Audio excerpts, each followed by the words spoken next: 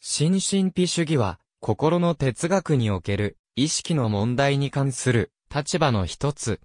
意識のハードプロブレム、つまり、物質としての脳からどうして、心的世界が生まれるのかという問題は、私たち人間の持つ認知能力では理解、解決できない問題である、とする、立場のこと。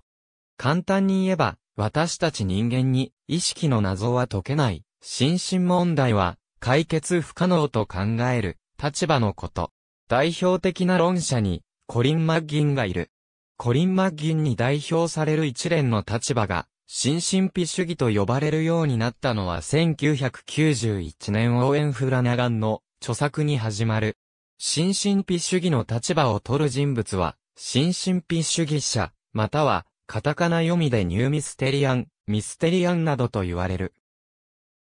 ここで使われている、真という言葉は、今までの歴史上で、意識の問題は解決できないだろうと考えてきた人たちと、現代の論客を区別する意味合いで付けられている。マッギン自身は1993年の著作で自分の立場を超越論的自然主義と名付けている。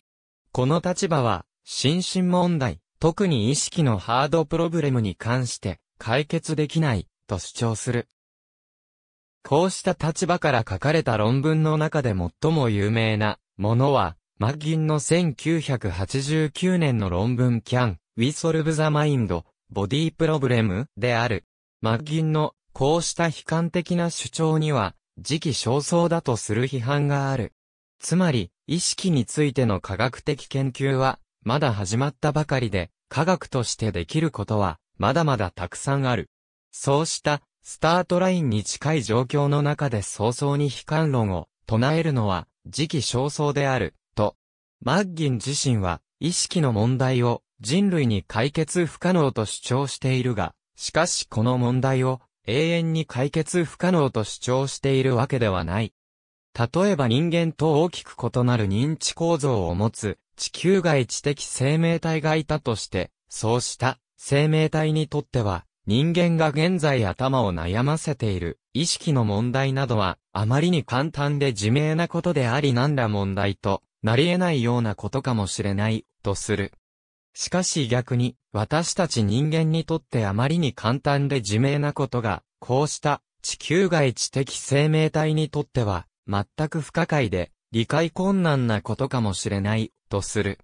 また1993年の著作、プロブレムズ・イン・フィロソフィーの中で、マッキンは、人間が人間自身の認知構造を操作するならば、こうした問題が解決可能になる可能性があるという含みを持たせている。ありがとうございます。